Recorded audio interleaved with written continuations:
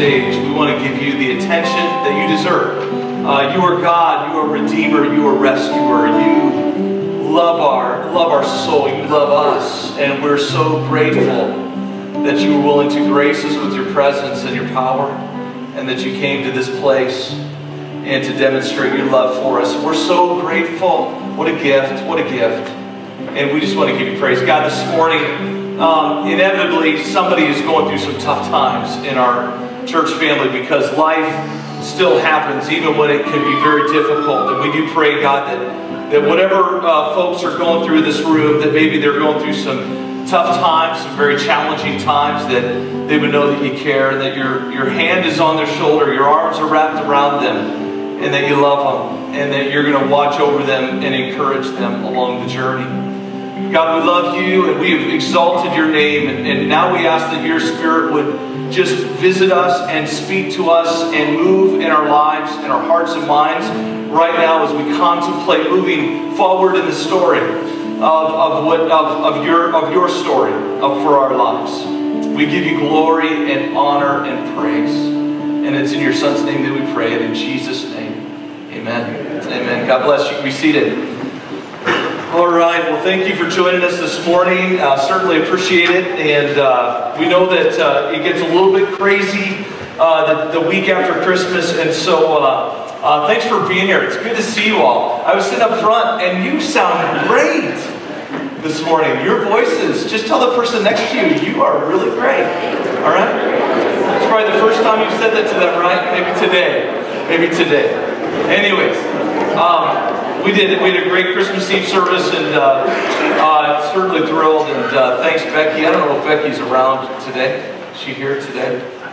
It, she's. I know she was getting under the weather, and that's a lot of stress. And make sure you send her a note and say thanks for serving in that capacity. It was such a, a great night. Well, we're going to be wrapping up this series called Ponder. It's all about pondering the Christmas story. And uh, if you'll notice in Luke chapter 2, verse 19, that's been our key verse for the whole month. And uh, it says that Mary, uh, look at it with me. It says this. It says, Mary treasured up all these things and pondered them in her heart. And we've been talking about the Christmas story. And, and, um, and that she is pondering. In that moment, she is pondering all the all the stuff that's happened up to that point.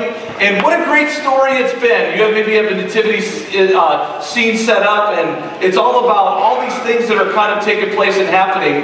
And uh, and the interesting thing is, we're moving just past now the birth. And Jesus has been born, and the, the shepherds stop by, and um, it's it's that day after feeling. It's when all the Christmas celebrations are over, it's like like real life is or life is about to come back, right? It's like uh, you're in the season and everybody's everybody's kind and generous and smiling, and then when Christmas is over, it's kind of like everybody gets back to real life, and and it can be a little a little depressing, right? Because it's like. Uh, people that maybe were really smiling and, and happy and generous and patient or maybe not so much now. We were coming back from seeing a movie on Christmas Day. It was Christmas afternoon, and everybody had gone to see Star Wars, and we were we wanted to see it. We waited till later on Christmas Day, and we went out and saw the movie. On the way home, we were driving on one on 20 coming back to our place,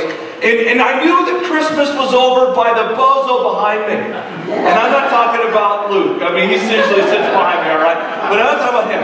But this guy was driving, and he was a little bit intense. And he's driving, and he's really close because it's dark, and the lights are on, and you can see he's pulling up, he's slowing down, he's pulling up, he's slowing down. He's looking over to my side to see if anybody's in front of me. And I'm watching all this. I'm sitting here driving. I'm driving the speed limit. I really am. I'm driving the speed limit. And it's a really important thing. I, I mean, since coming to Brighton Chapel, I've, I've been pulled over more times in Brighton than I've ever been in my entire life.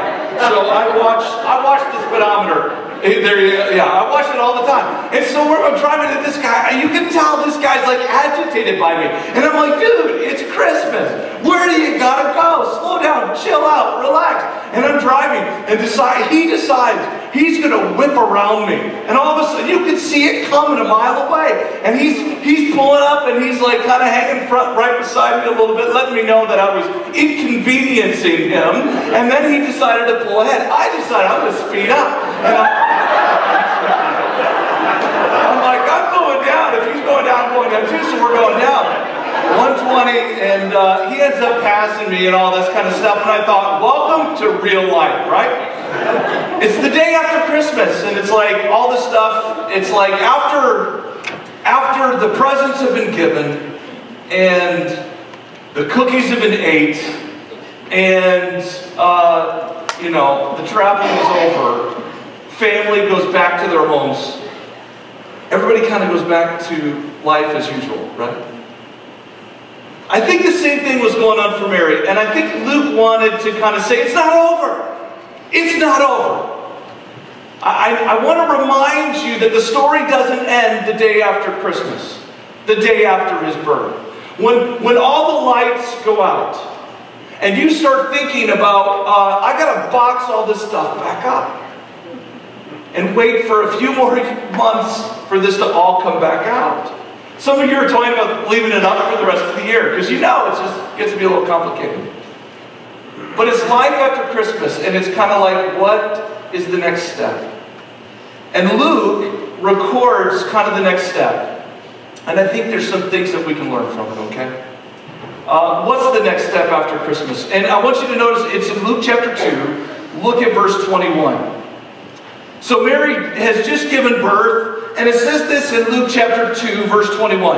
On the eighth day, okay, so this is this is eight days later. So she gives birth day one, and then seven days later, this is the eighth day. So when, when all the angels are back in heaven, shepherds are back out into the fields, no more angel visits, every, all the lights are turned off. Um, this is what's next. It says, when it was time to circumcise him, he was, he was named Jesus, the name the angel had given him before he had been conceived. Now, in Jewish tradition, this was a, a major part of their lives, where on the eighth day, um, these folks are going to celebrate, celebrate tradition. On this day is when they will name him, but also this boy, because he's a boy, he will also be circumcised. This all goes back to Genesis chapter 17. Keep your finger there. So I'm going to take you to a few places um, where it's at. Genesis chapter 17. Look at it with me. It says this. When Abram, okay, look at it. When Abram was 99 years old, the Lord appeared to him and said, in verse 1, he says, I am God Almighty. Walk before me and be blameless. I will confirm my covenant between me and you and will greatly increase your numbers. Abram faced, fell face down, and God said to him, As for me, this is my covenant with you.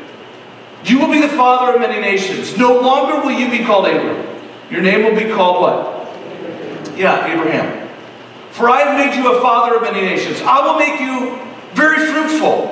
I will make nations of you, and kings will come from you. I will establish my covenant as an everlasting covenant between me and you and your descendants after you for the generations to come. To be your God and the God of your descendants after you. The whole land of Canaan, where you are now an alien, I will give as an everlasting possession to you and your descendants after you, and I will be their God.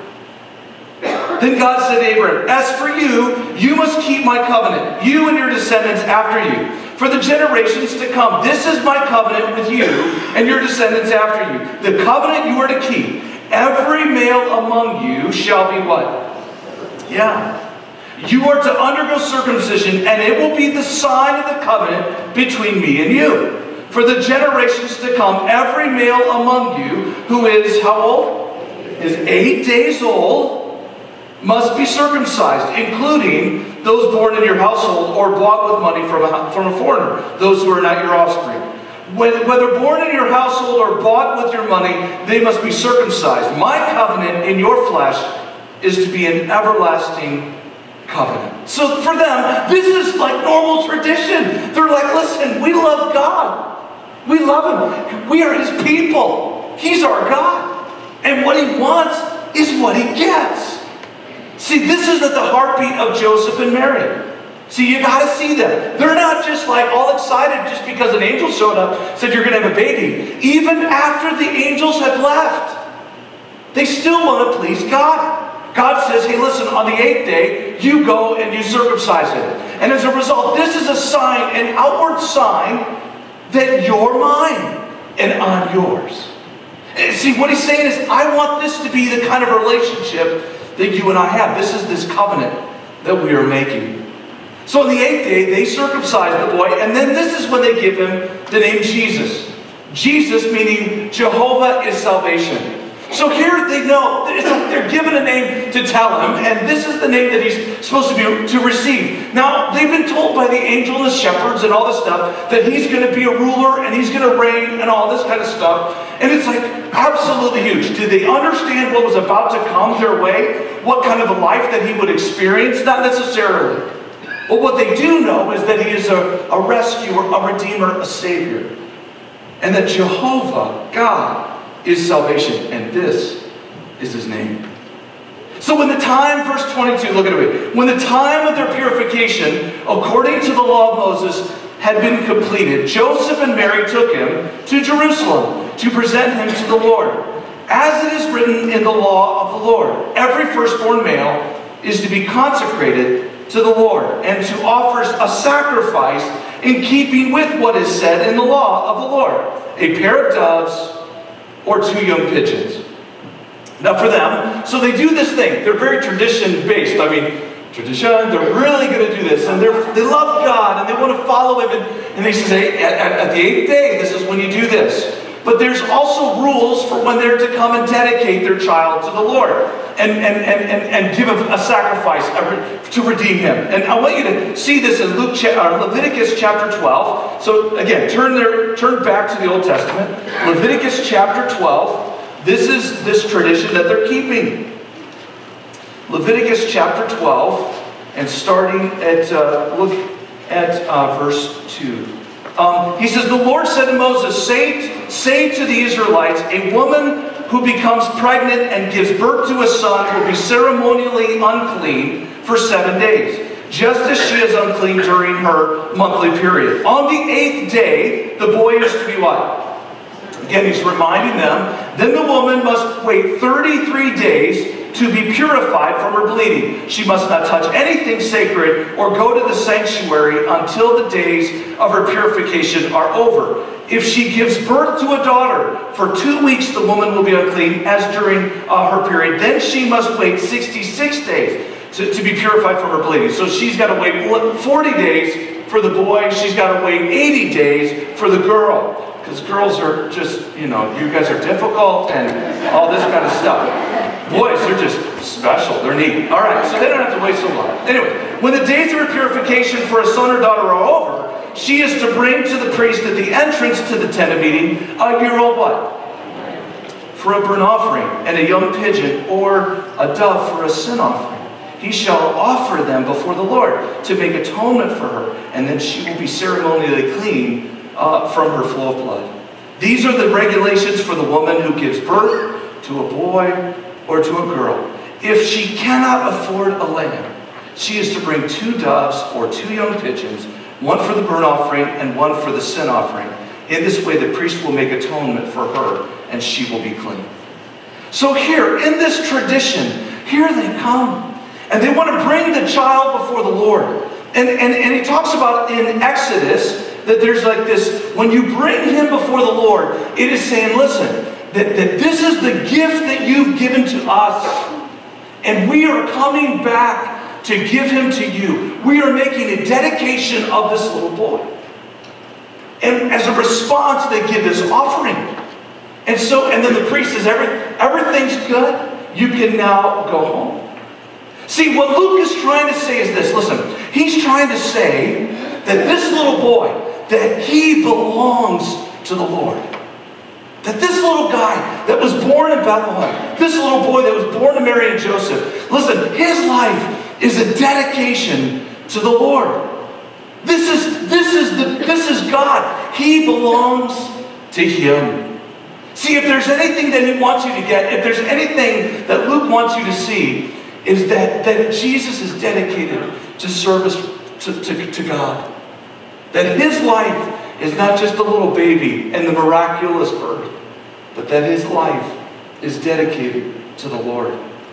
See, I love when parents dedicate their children to the Lord. For them, this is how they would do it. For us, we, you give us a call and we, you say, I want to dedicate my little one to the Lord. And so we set up a time, we show some pictures, and it's really beautiful, a great time. Then we come up to the front and we have you introduce yourself, and, and you get to say, here's this little baby boy or this little baby girl, and and then we, we do a prayer of dedication. And what we're saying to the couple is they're saying, listen, I want to bring this baby, and, and I just want to dedicate him or her to the Lord.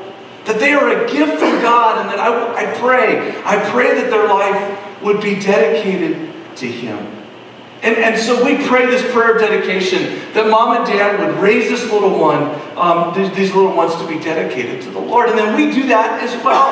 We, we, we say, You're not alone. We come around you and we believe we're with you. And as a church family, we're convinced there's three things that we want to do. And they start with L. They all start with L. We like to alliterate things, but it's really easy to remember. The first thing is this that we hope for your kids, for your little ones, to grow up in this church, is that they would learn more about Jesus. That's what we desperately want.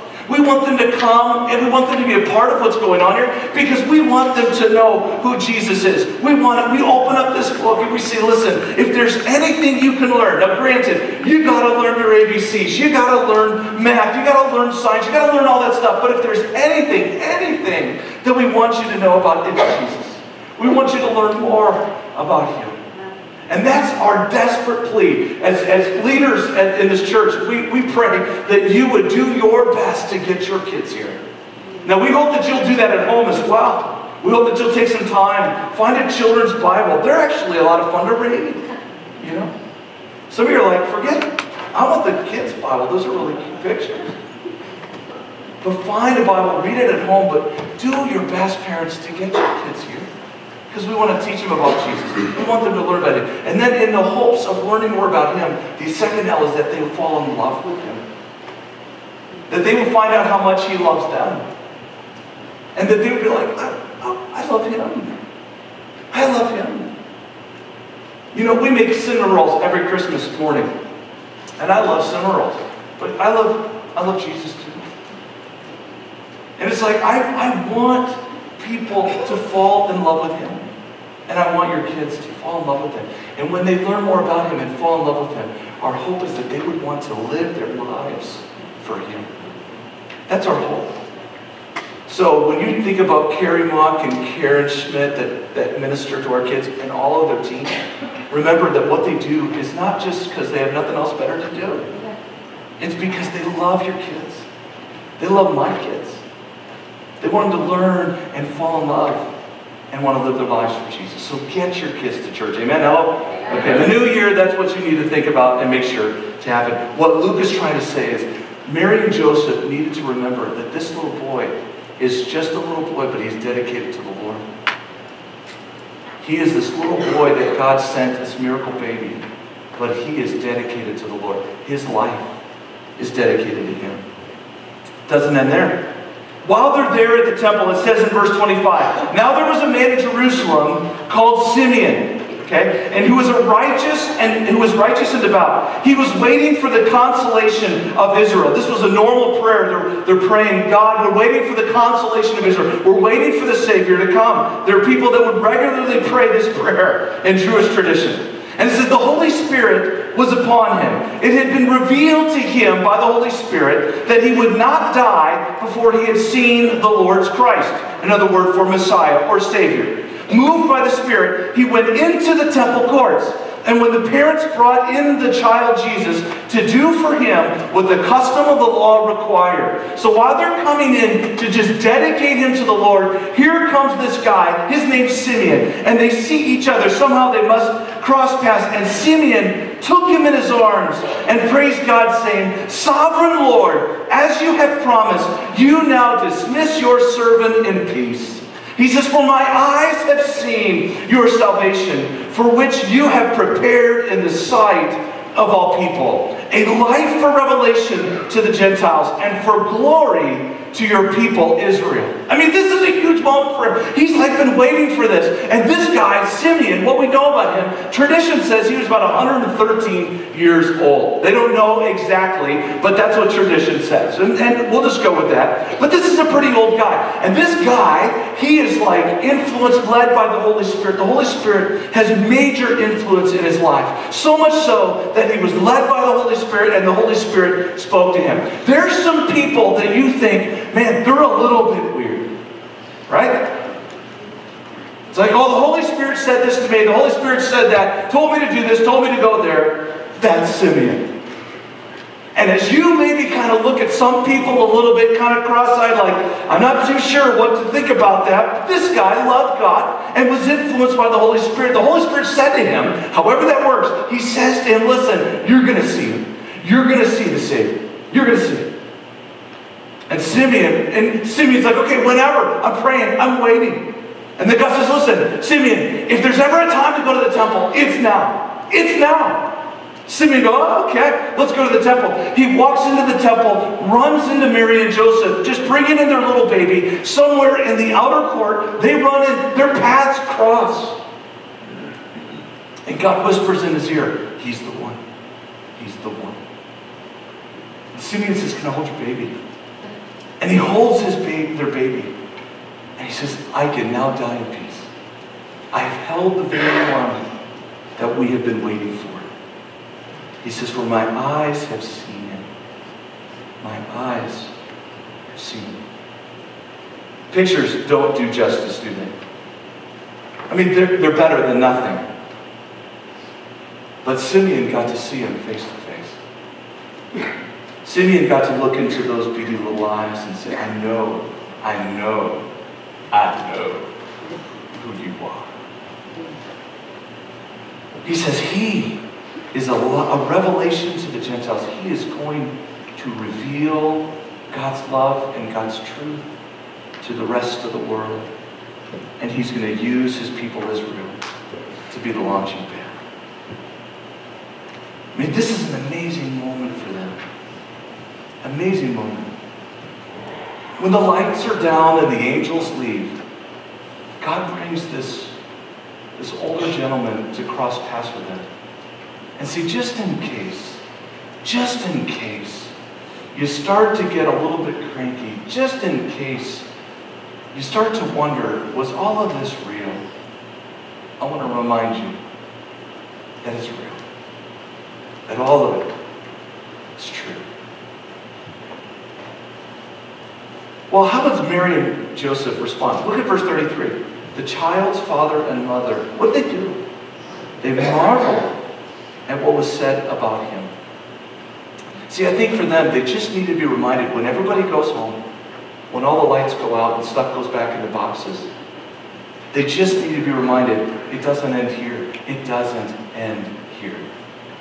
This little baby is dedicated to the Lord, and he is going to do the miraculous. He is going to be a miraculous Savior. How does he know that? Because in verse 34, look, then Simeon blessed them can I bless you? Let me bless you. He says to Mary, his mother, This child is destined to cause the falling and rising of many in Israel, and to be a sign that will be spoken against, so that the thoughts of many hearts will be revealed. And a sword, hey, a sword will pierce your own soul See, what, Sam, what Simeon is trying to say to her is that this one that has come, he is going to come as a Savior. He, people are either going to believe him or they're going to be tripped up by him. Some are going to say, Yes, I get it. Yes, I believe. But then there's others that are going to say, Forget it. He's just a little baby. He's going to come and he's going to speak the truth. He's going to reveal the human heart and he's going to show the miraculous. That's what he's saying as a sign. This miraculous signs are not just going to be speaking the truth, but he's going to back it up with power. He's going to show you that it really is sent from God, that he is the Savior of the world. He's, he's, this is it. This is the one. He's going to polarize people. People are going to be talking about him. People are going to be mesmerized by him. People are going to be messed up by him. People are going to say, I can't stop thinking about him. This one, he is going to disturb the rest of humanity. I mean, you think about it. We, when he came, what did he do? He split time because we, we, we look at BC standing for what? Yeah, what does the AD stand for? Yeah. It's kind of like everything. Now, we have a, a, culture that's saying, no, listen, let's just, uh, let's kind of do the BCE or CE. Let's kind of change that. So if we don't believe in Christ, if we don't believe in this baby, we got to have something that, that like excludes him. But he has come. He didn't ask, can I split time? Can I call it AD? Can I, can I say BC and now AD? He didn't. He just showed up. This little baby is going to change the world. He is going to be a miraculous Savior. And Luke is saying, listen, I need to remind you, this little baby, he's not just a little baby. He is, his life is dedicated to the Lord. And that he is a miraculous Savior. And Mary, Mary, believe me, if you follow him, you believe in him, your soul, you will experience and you will not be spared the pain that he's going to go through. You will, you will walk through it as well. Followers of Jesus, you will experience trouble. And didn't Jesus say that? In following him, you're not exempt from the pain of the good news.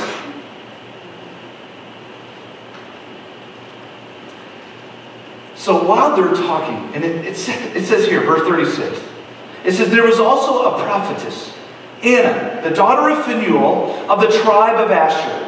She was very old. She had lived with her husband seven years after her marriage, and then was a widow until she was 84. So she's a pretty old lady. She never left where? She never left the temple. It says, but worshiped night and day, fasting and praying. I mean, this is a godly woman. This is a woman who loves God and dedicated her life to the Lord.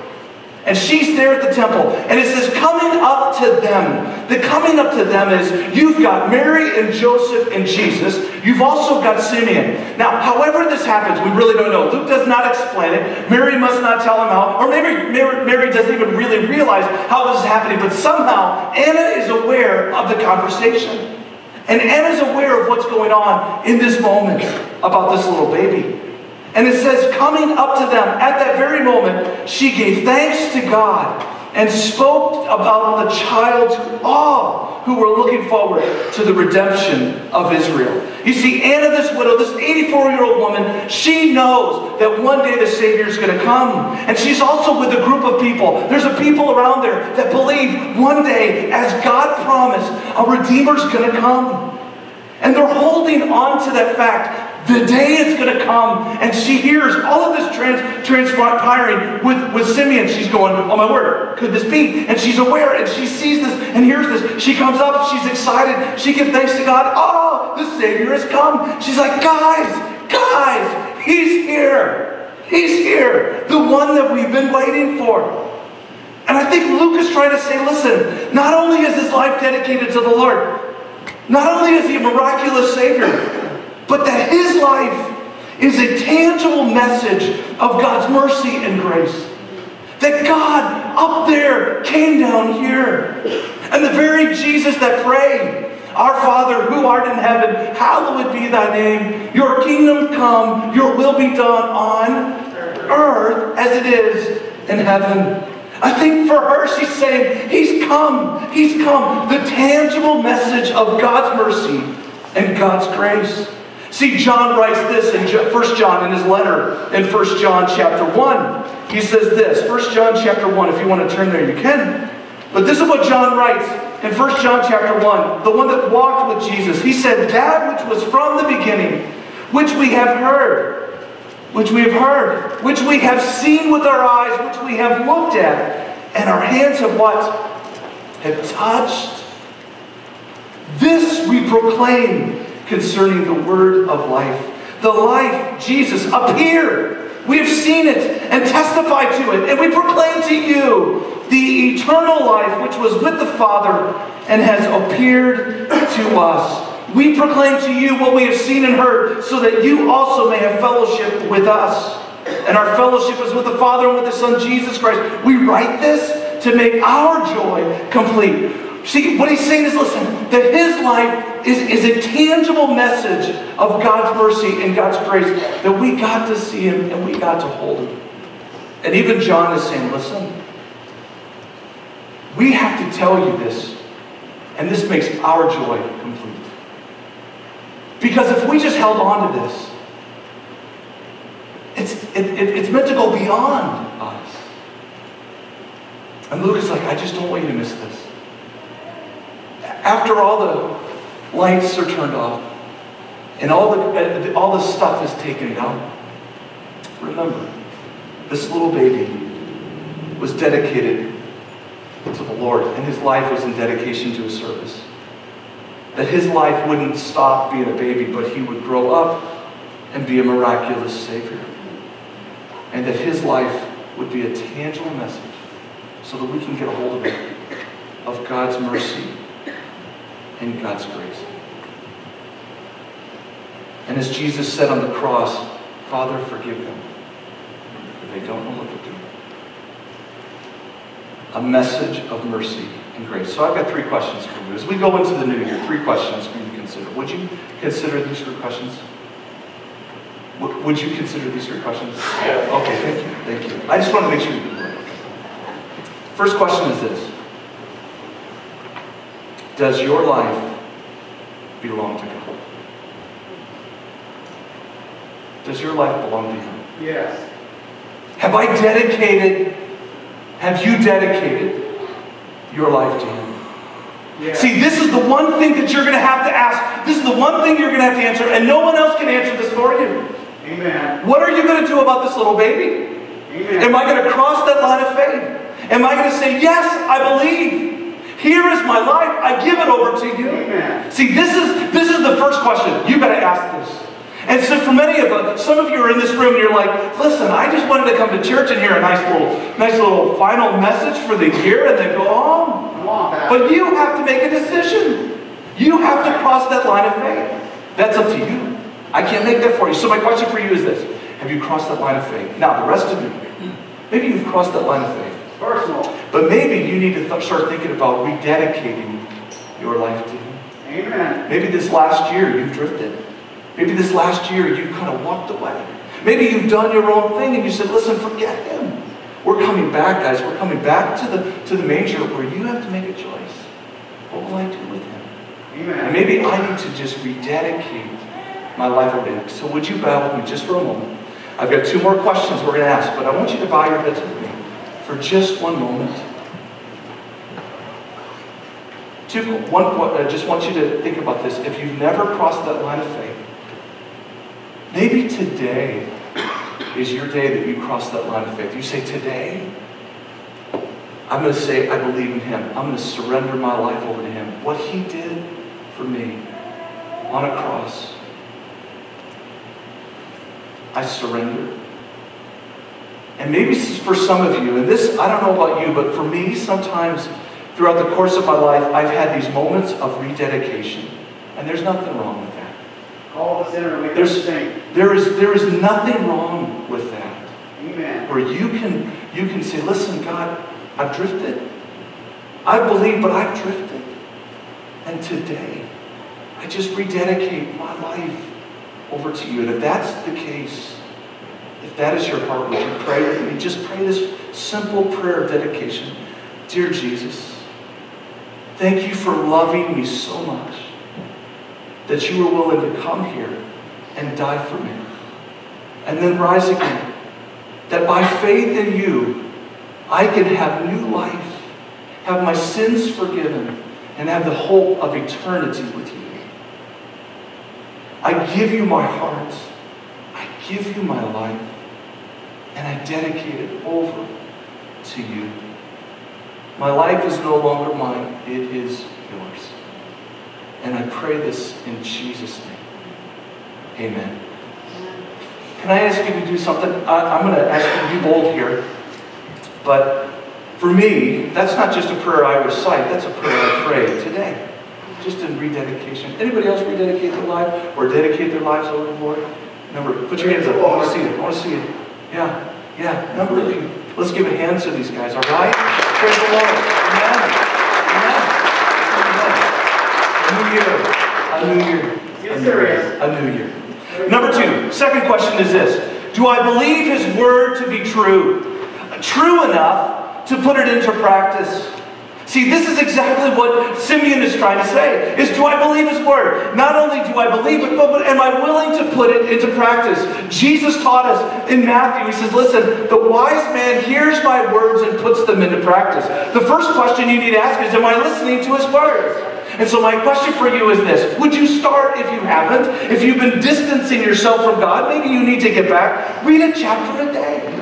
Sit down, find a chair, read for 15 minutes, read a chapter a day. So much so that it's one of the applications on this wall, if you can see. It's one of the applications we've said in, in 2015. Even in 2016, we want you to read God's Word. So would you say, listen, I want to read. I got to read, but not just read it. I'm going to put it into practice. Praise the Lord. I'm going to walk in His ways. I'm going to walk in His ways because my life is no longer mine, it's His. And I'm dedicated over to Him. Even when things are tough. Right, Mary? Yeah. Even when life gets tough and everybody's coming down saying, What on earth are you doing? Following His Word. It is a lamp unto my feet, a light unto my path. So, do I believe His Word to be true? True enough to put it into practice? That's the second question. The third question is this Am I willing to tell others that I have found a Savior? Am. I willing to tell others that I found the Savior? See, Anna just said, Listen, I found him. And she turned and she said, We found him. We found him. See, this is one of the things that you can do. Some of you are a little nervous about that, but listen, just invite them to church. Start there. Say, listen, you gotta come. We'll talk about it. We're not afraid about that. But sometimes people are. But you come. You you can say, listen, come to this place. And we've invited you. Listen, that's part of the gospel. That application is saying, listen, here is my life, and I'm gonna invite, I'm see the people around me, in the cubicles around me, in the in the stations around me, at school around me. I'm gonna see them as God sees them, that He loves them, and that, that He wants them to know that we have found the Savior. And not only that, maybe you can invite them over for dinner. Invite them over for dinner. Maybe God will give you an opportunity to talk about your faith in Him.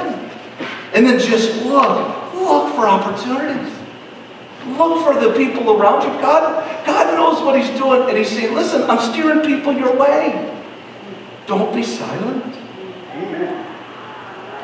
And then he says this. Verse 39, look at back in Luke chapter 2. When Joseph and Mary had done everything required by the law, they returned to Galilee to their own town of Nazareth. Now they return home. I mean, she's been away from home. She gave birth to a little boy in a stall. She's, she's gotten visited by some pretty interesting people. Everybody's now going away, but then God brings these two people and says, God, hey, the story isn't ended. The story isn't ended. There is so much more life to be lived. There is so much more to the story. And it says, And the child grew it became strong, and he was filled with wisdom, and the grace of God was upon him. Listen, don't stop here, I think is what he's saying. Don't stop. Keep reading the story. And your life will be forever changed. Would you pray with me for a moment? God, thank you for this morning. Thank you for what you're doing in our midst. Thank you for the lives of this morning that maybe they rededicated or dedicated their life over to you. And we celebrate that. We pray for, for all of us that we would get back into your word, if we're not, but get back into your word and reading, just finding a chair, finding a moment, and saying, I want to hear, I want to read, and I want to learn. And God, in that learning, I'll fall in love with you because it's hard not to fall in love with you. So much so that our, our lives, we hope, would be lived out for you. That we would live out your word. And that we would not be afraid or ashamed, but that we would tell others, those around us, in 2016 here, that we have found, we found the Messiah. We found the Savior. His name is Jesus. And not be afraid. Not be afraid. God, we pray that here in 2016, you would explode this church with new people where they're hearing the gospel and lives are being forever changed. Not just our church, but all the churches in our county. That people would find that there is hope.